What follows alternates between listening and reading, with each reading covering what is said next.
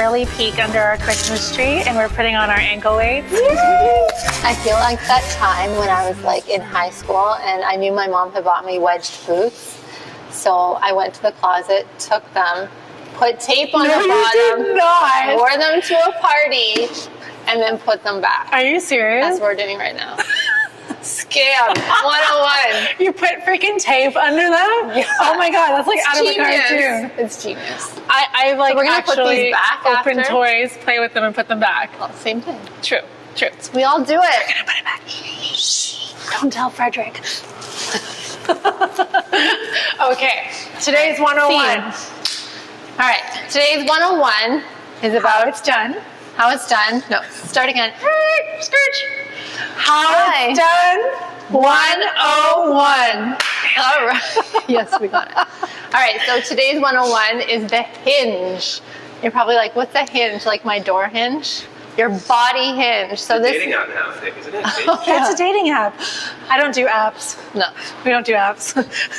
because we're married. I'm married. it's really bad to Wah, do wah, apps wah. if you're married. There's a whole other app for that. we won't go there. All right. There's a whole other. All right. Focus. So I like to if you if you're a mom or a dad and you've ever tried to like get your child in a car seat and they're wah, flailing about and you do like the chop at the half body. Yeah, let's do it. It's Slow motion. when your body Chop. bends in half going down. This is a hinge. Sounds simple, but and I didn't karate chop my children. FYI, I'm just saying, had I karate chopped them, that's where I would have done it to get them in the car seat. uh, okay, so this is a hinge. It's when you tip at the hip to move your body downwards. So what's happening here is her tailbone is going back. She's engaging her core, so she's bringing that belly button to spine. Her feet are shoulder width apart. Her shoulders are rolled back. She has a slight bend in the knees. Now, not doing this movement properly and loading it Can look like this. and can like lead to injury faster than anything. Okay, so do not, the rule of thumb is do not add weight, do not load until you've properly done the hinge, mastered the hinge. So you can practice it by being against a wall, putting a meter stick or a dowel along the top of your head all the way to your spine and making sure that your spine is staying stacked as you come over. You want to feel a slight pull in the back of the legs, up in those um, hamstrings. And so that's kind of your cue that you're properly hinging. You don't want to round your back. Right? And if you have a partner, yeah, if you have a partner, it's a great way to do it. Stand up for me. Can you imagine someone just grabbing onto your hips, get your mind out of the gutter, and pulling back? Okay, keep your chest up. You want to pull back on the hips. So you have that sensation of your hips drawing behind you. Okay, chest stays up. Try not to turtle shell forward. I'm really close to your bum right now. I'm so glad we're comfortable like this. Oh. Back it up. Another common problem is people when they come over, so yes, she grabs my hips, pulls them back, and then the top rounds. You want to keep those shoulders drawn back. So I always say the first step is draw the shoulders back And then hinge back. tip. You'll feel the sit, bone, sit bones flare away from each other, okay? And you'll feel the extension through your glutes and through your hamstring. Not pain, just an extension. So they'll be Pull. active and a long. nice pull, yeah. A nice pull. And that's how it's done. One, oh, one. Boom. okay. Nice. Woo. I like that. Okay, All right. let's come on down. Do we need a new? Oh, here we go.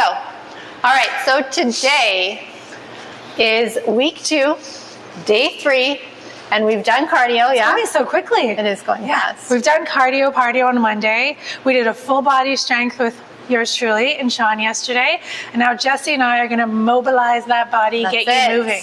Okay, so we're gonna keep you all loosey goosey, and this is your chance to optimize on the mobility. So we're gonna be moving slow, tempos nice and easy. So this is your chance to see how far, when we say mobility, that means how far you can extend without hyperextending that mobility of your limbs and your It's going to feel good. It's gonna feel good. Yeah. Let's do Okay, it. key part, probably the most like, It's a really important part. Like but nobody does it. nobody people focus so much on strength and like how much you can lift and they forget to actually um, focus on the range of motion and mobility in a joint so if you can like deadlift 300 pounds but you can't do this what good are you? You need to be able to like take your sweater off to throw your children up to get groceries out of the car. We need to be able to move our bodies because as we age they're going to get really creaky like the tin man right? You're going to need to oil those joints up. So the Already, more you keep it moving, the more likely you are to keep the mobility in those joints, right? We don't want it to seize up. And even if you are building strength, a lot, if you could have muscle instead of just in this part of your bicep, but all the way from the entry point to the attachment insertion. insertion part, then you're you're going to have more strength. Yeah, it'll make you stronger. It'll So, make you stronger. Long, strong muscles. Long. That's where we're trying to get you. Yeah, we're gonna take it up and take it up a notch. It'll actually boost your strength game. So let's do it. Let's do it. Okay, so one minute movements. One minute. Timer, please. Timer, please.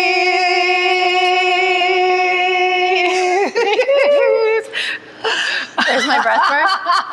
All right, one minute movements. So we're doing the same thing dynamically, which means moving the entire time for one minute, and then we're gonna switch, starting with the neck. So we're gonna tilt, gently let that head roll to the right.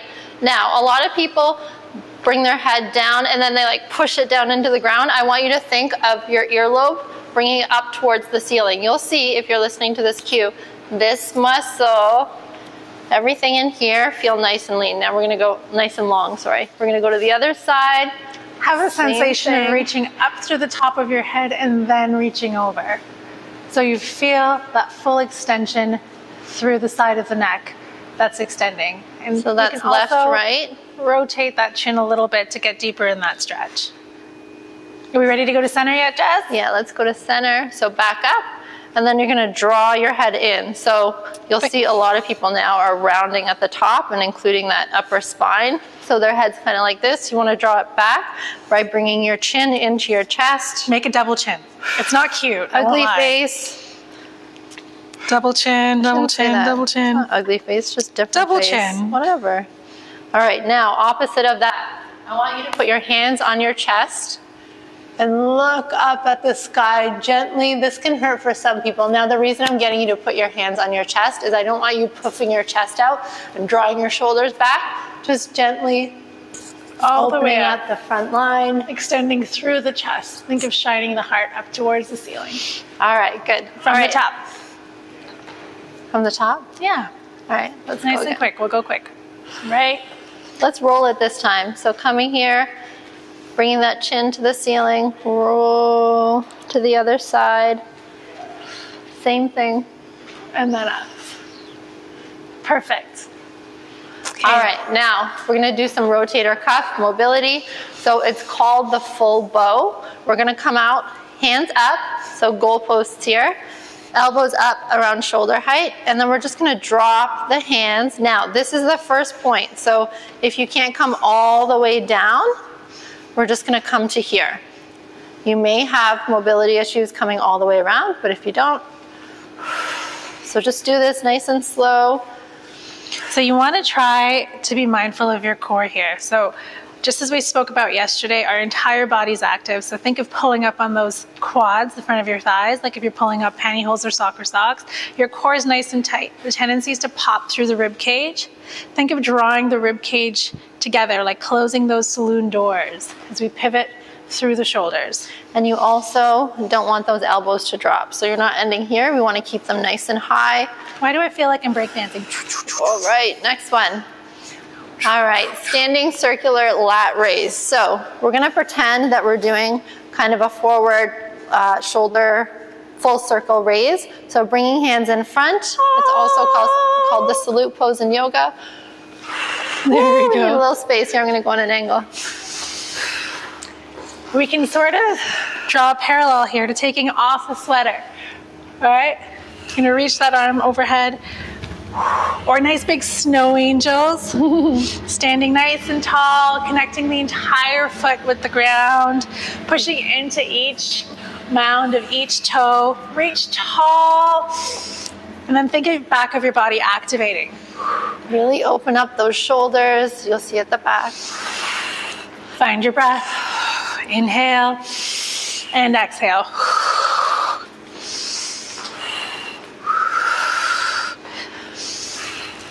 And you might think that these are so slow and controlled that you won't feel anything. I guarantee you tomorrow you'll feel your muscles In a good way. in a good way. All right, next one. All right, so we're gonna come down. Oh, chest opener. Okay, so we're gonna come with hands behind head. We're gonna lace them, put them behind your head, and it's called prisoner squat normally. But what we're gonna do is fan them. So here at the top, we're gonna bring them together, fan them open, then come down into a squat and back up. Once you come up, pushing through those heels, we're gonna fan again, pushing through the heels. So we're trying to have those elbows come out, right to shoulder, right in line with your shoulders. And try not to pull on your neck at all. You want to open up up through the chest. Now, Jesse's in a neutral squat position. I'm taking my legs slightly wider into a sumo squat position. And where your squat is the deepest will change depending on how you're put together physiologically, right? We're all built a little bit different depending on where your hips sit in the joints. It's true. Speaking of sumo squat, so now we're getting into that nice wide stance. Sumo. At a 45 degree angle, toes pointing out. We're gonna come down in sumo squat. So remember, this doesn't mean knees coming forward. It means still drawing that hip, that um, tailbone back. Down and back. We're gonna lift, come up onto the toes on that right foot, back down, and left side. You wanna make sure that you have a wide enough stance that you're kind of coming over top of your toes when you lift up. And you will feel these. Woo! If you can't stay down, 'cause this can be difficult, come to center, come back up, get some glute action in, and then right, left again. Five seconds. Keep those here. heels going like we're wearing five inch heels. All right. and all the way up. Shake it out. Woo! All right, we're gonna do the lunge, facing each other. So we're gonna go back with that right leg. We're gonna come down into the lunge and we're gonna reach over to that opposite side. So the leg that's going back, you're gonna reach over to the other side. Now, if you reach too far, you might lose balance. We're trying to open up this line. So just reach, come back up, and then right back into the same leg. Oh, Same leg. I messed it up. We're gonna stay on one side. So you're reaching across the forward bent knee, okay? Big exhale. Opening up those fingers. Another way to get balance, if you're having a hard time balancing, take your legs a little bit wider than hip distance apart. If you need to, get a little bit more stability. So widening that base of support can add a little bit more stability. I'm a wiggly wobbly, wiggly wobbly Nelly here. Go to the other side. And switch. Switch. So smooth. Here we go. It's like looking in a mirror. Exactly. Completely opposite. You know. So really reach back that back leg. Nice slow bend. These ankle weights really add on to it, don't they? You do. I hope you guys went and got yours from under the tree as well. Or snuck them from under the tree. Don't tell Frederick. Like, who's Frederick? Who's Frederick? Frederick is our director. He's Santa? He's Santa. All right, 15 more Santa. seconds. he is Santa.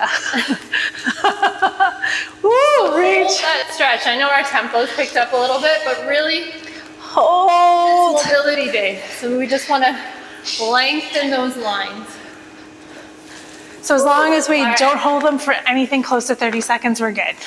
All right, Okay. now we're going to come down. All the way down on the ground. Squat.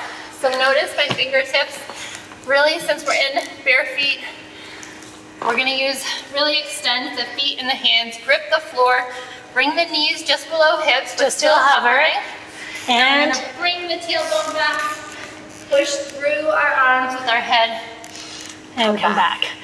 I love this one. Now, I don't know if your feet are, but my my heels are hitting Ah! the ground. My heels aren't quite hitting the ground. Wherever So- you are, do you? That's right. You can always walk too when you're here. Think of reaching the heels all the way down.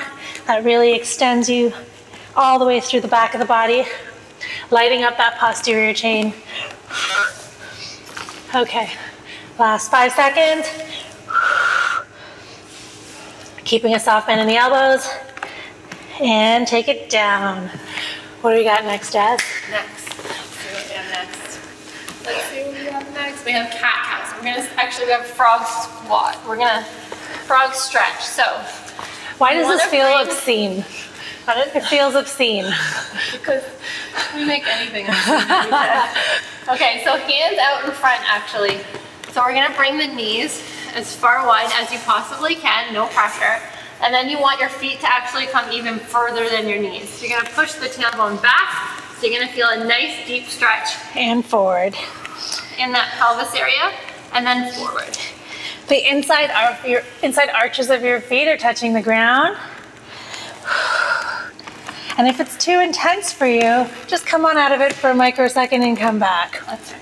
And also drop down into your forearms, push back, little pulse, and breathe. Last one. Then collapse. okay. All right, staying here, just moving into into four, uh, all fours.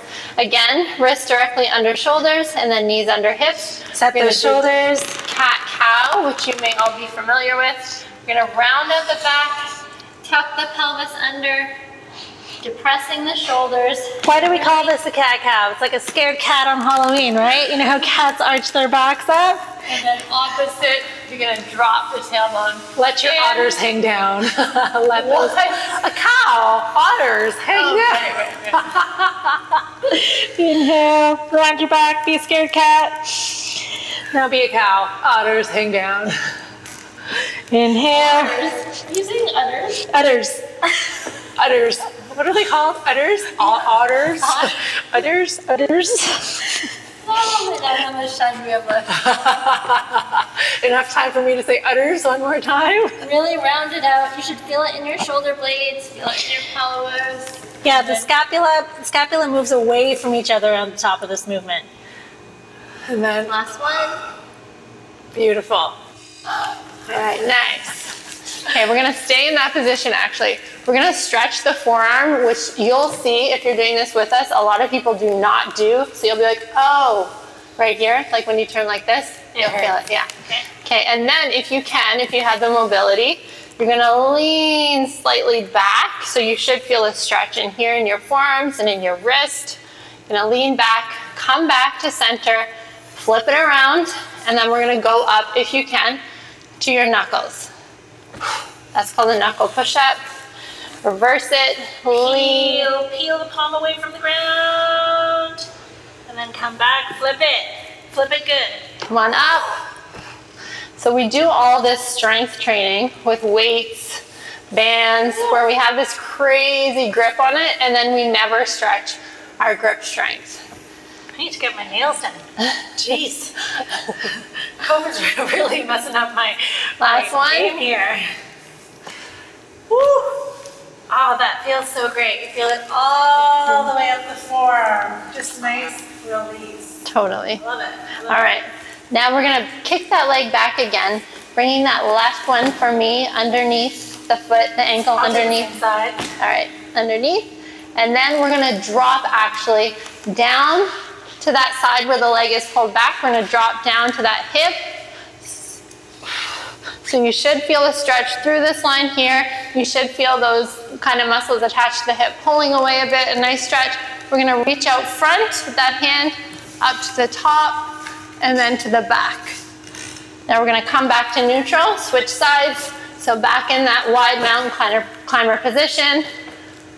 Drop the hip, reach forward, then up, and then to the back. To the back, I feel the most stretch. I don't know about you. This position right here. Love, yeah. I could literally stay in that forever. Let's get one more in. So that's a good point. We're doing dynamic here, that means moving, but you guys can always hold these after a workout for 30 seconds. That's a static stretch after a workout. Before a workout, dynamic stretching, that means moving and mobilizing. You don't ever want to hold something for more than 30 seconds before a workout because then a static hold temporarily weakens the muscles. And if you're doing that before a strength day, it's not a good idea because those muscles will be temporarily weakened. We're done Totally. with these guys. I know, they are my favorite. So like, you guys do extra time with those because we really didn't get that far. All right, now, legs out as far as you can, feet out to sides. We're gonna do a stretch to that right side. So reaching over, then we're gonna come into the middle Your mobility might vary from person to person here. or from side to side. From side to side, yeah, depending on your habits. Some of us tend to sink into one hip. I know when I'm doing the dishes, I sink into one hip. Totally. right? Or like, or um, if you have little ones, I would always hike them up on one hip. So one hip would sit higher than the other. This is the most common thing. If you cross your legs, male or female, if you cross your legs and you sit in that position for an extended period of time, guess what? That hip crease is going to be hiked on that one side. Totally. So these You're essentially shortening the muscles on one side and then lengthening them on the other. being aware of these deficiencies or short, not shortcomings, but these hindrances to movement. Improper movement, yeah. Yeah, improper movement, can help you know where you need to work on your mobility a little bit. One more center. Woo. All right, now we're gonna get some ab work in, some core work. So we're gonna go head to head here. Walking through the Wilderness. All right, I can't, I cannot do it, I'm sorry. it's always theater. In. All right, so legs up nice and straight. Our ankle weights are gonna come into play here. You can have your hands out to the side. I'm sure we've done this with you guys already in this program. We're dropping one leg down nice and slowly, and then the other side. Okay, no rush with this one.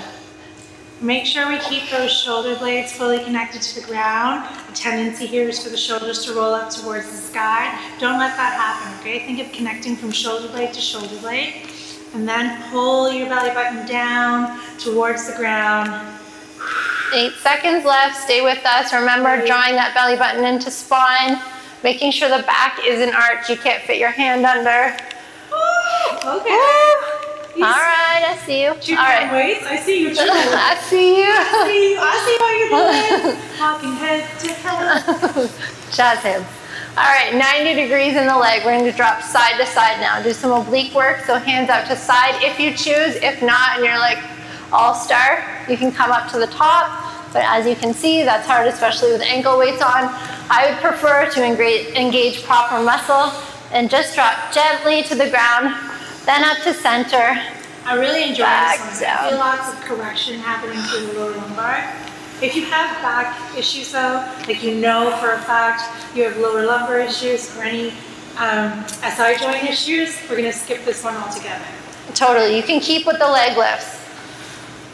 Okay, so nice big rotation through And the lower lumbar, all the cracks and corrections. Sometimes it just helps to reset your pelvis by taking it across the body. Last one.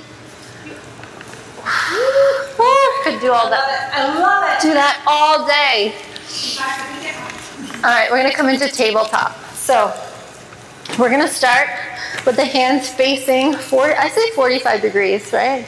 Yeah. Yeah. Fingertips facing your. Make sure your shoulder's nice and comfortable. All right, now you're gonna drop that butt to the ground.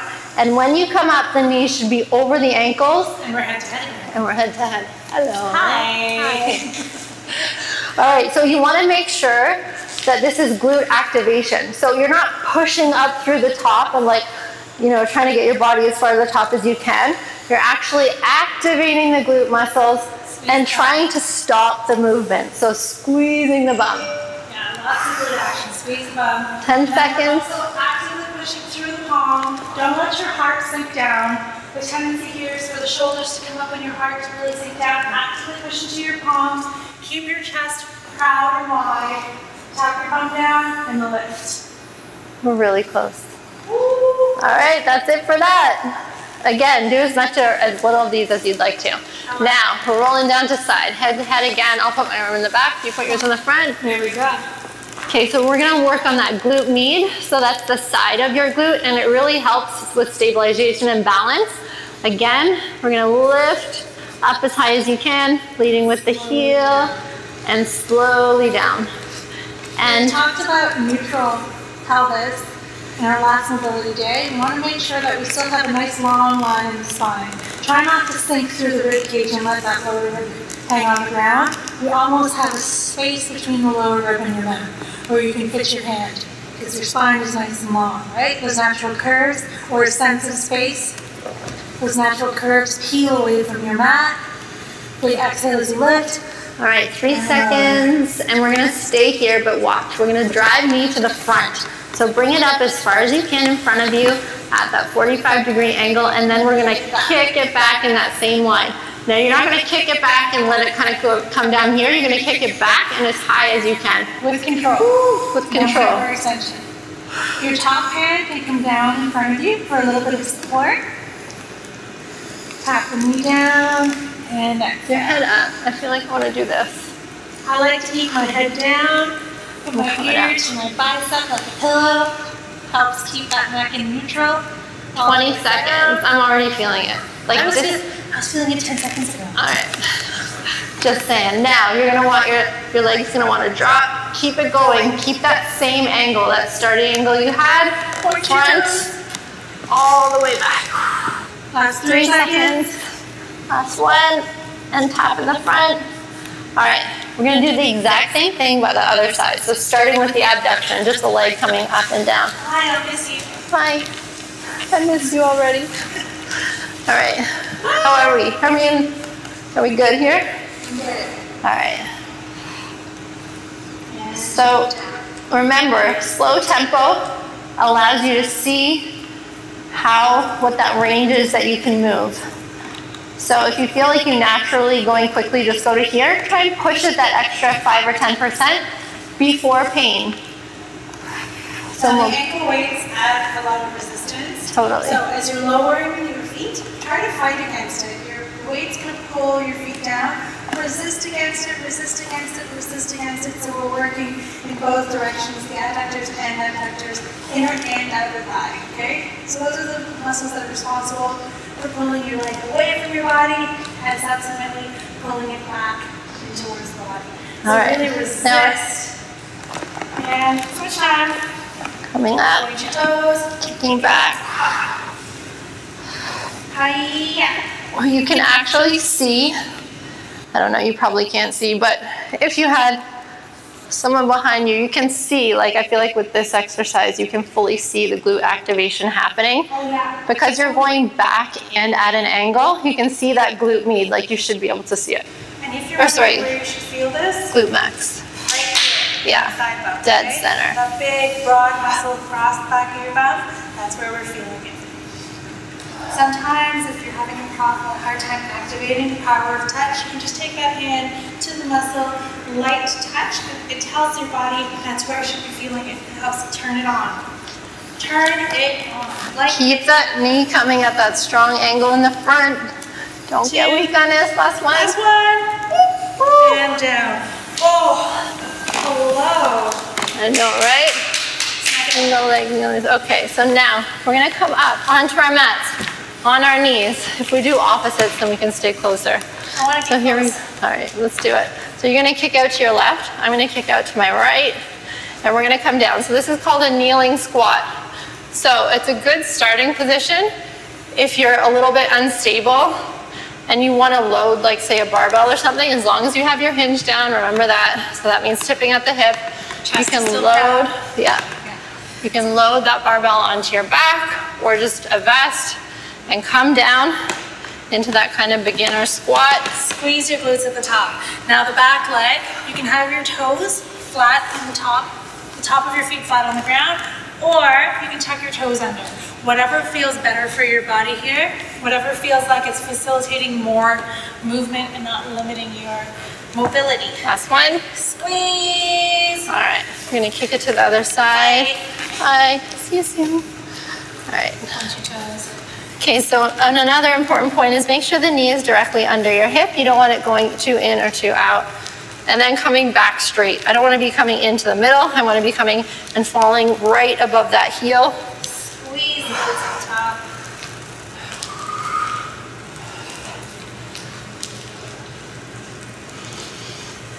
We're almost done, guys. We have one more after this. Right, left. This went by so fast. Right? Yeah, this is like the perfect thing to do. I do my mobility at night. I don't know about you, but like in front of the TV when I'm totally That's like, every time. Netflix After the and kids go to chilling. Bed, Yeah. And we'll put the mat out, put on a nice episode. Right now, I'm watching Queens of the South. Have you seen this? oh no. Queen, Queen of the South. Queen of the South. I just watched um, The Queen's Gambit. So good. So good. So Gambit. good. It's so good. I'm like, um, her mom just died. Sorry, spoiler alert. Yeah, hello. Spoiler alert. Spoiler alert. Anyways, that's where I am. So not You know what? Maybe we should do this one facing forward just so we're all in frame. Okay, so what we're gonna do here is called thread the needle, but we're gonna make it dynamic. Usually it's kind of a stretch. And it, we're gonna thread the needle by lifting that right arm up, so fully stable, wrist underneath the shoulder here, weaving it through the body and that arm, and then dropping gently onto the shoulder and rolling up onto the head. It's okay to come up onto the head, you'll feel a nice stretch there. We're holding it for too long, but then we're gonna come up, Nice big rotation through the spine as we reach that hand up towards the ceiling. back to neutral, and we're gonna do the other side. So thread the needle, bring your ear down to the ground, bring your shoulder down to the ground, come back up, and open up, open up that heart. Nice, it feels so That's delicious. so good. So delicious. Scrumdiddlyumptious. So this is a stretch. So again, you can turn that into a static hold after a workout.